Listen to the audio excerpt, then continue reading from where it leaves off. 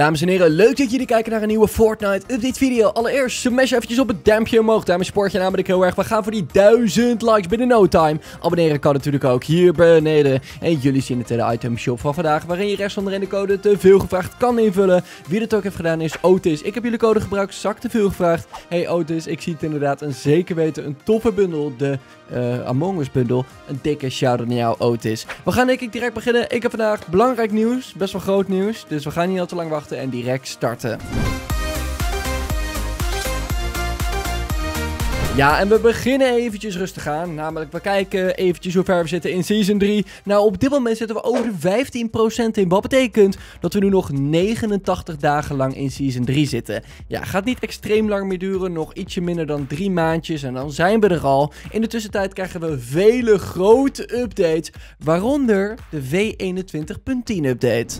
Ja, want de V21.10 update, die kunnen we vandaag verwachten. Namelijk Fortnite Status heeft deze tweet naar buiten gebracht waarin ze zeggen dat hij vandaag erin komt en om 10 uur zal er downtime zijn. Ik ga zo meteen meer vertellen over deze update, wat we allemaal kunnen verwachten. Maar eerst wil ik eventjes het volgende vermelden, namelijk Dion zal live zijn op Twitch in de ochtend en zal alle leaks gaan ja, behandelen. Alle nieuwtjes over deze update. Dus wil je dat niet missen? Ga dan naar onze Twitch pagina toe. Te veel gevraagd heet het gewoon. En doe hem de groetjes. Uh, we gaan het nu eventjes hebben over de V21.10 update. Wat kunnen we allemaal verwachten? Nou, in die tweet zei dus ook, wat je net kon lezen. Impressive, most impressive. En dat is een quote van Darth Vader. Dus wat kunnen we onder andere verwachten? Nou, inderdaad, we kunnen een mythic item verwachten. Namelijk een lightsaber die we kunnen gooien. Die hebben we natuurlijk ook al gezien in de trailer. En het, ik moet zeggen, het ziet er echt heel erg dik uit. Die lightsaber kun je dus gooien, kun je weer terughalen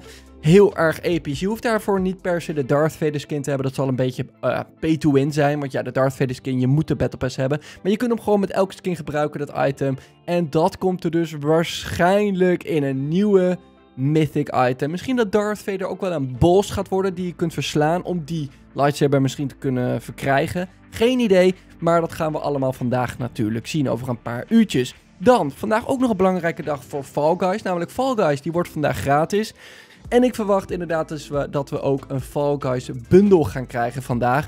Misschien als backbling, een Fall Guys poppetje zal zeker weten grappig zijn. Maar goed, dan weet je dat nu ook weer. In de Epic Game Store is straks Fall Guys gratis en voor niks te downloaden. Sterker nog, dat is vandaag. Dus uh, dan weet je dat nieuwtje gelijk ook. Uh, daarnaast gaan ze natuurlijk heel erg veel bugs fixen. Want ja, bij die nieuwe update zaten wel een een en andere ja, irritante bugs zaten erin. Dus die gaan ze nu fixen. Daarnaast natuurlijk heel erg veel map changes, heel erg veel nieuwe skins komen eraan. Dus er komt echt heel erg veel aan. Dat is niet het enige, namelijk ook voor Creative komt er het een en ander aan.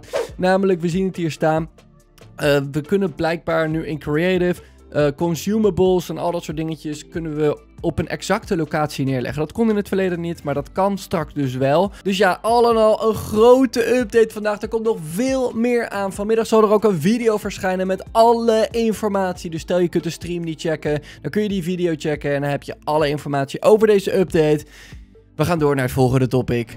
Ja, en we gaan het eventjes hebben over de Save the World. Namelijk, Save the World heeft nu de Skate Park Royalty Pack. Jawel, namelijk dit is een pack die 13 of 14 of 15 euro... Volgens mij 15 euro of zo kost die. En dan krijg je Save the World, je krijgt een skin, je krijgt een... Uh, een backbling en je krijgt een pickaxe. En 1500 V-bucks, hè. Dus uh, ja, dat is het in principe wel waard. Maar uh, ja, je moet even kijken of je dit een handige pack vindt om te krijgen. En of je Save the World überhaupt leuk vindt. Geen idee natuurlijk. En we gaan door naar het allerlaatste dingetje alweer. Ja, en dit is weer eventjes een leuke Victory Royale die ik voor jullie heb. Namelijk een leuke clip. Maar ik ga de video al wel vast afsluiten. Druk eventjes snel op het duimpje omhoog. Abonneren kan hier beneden. Check onze Twitch pagina, want die is waarschijnlijk live als je dit kijkt. En we gaan naar de clip. Peace out.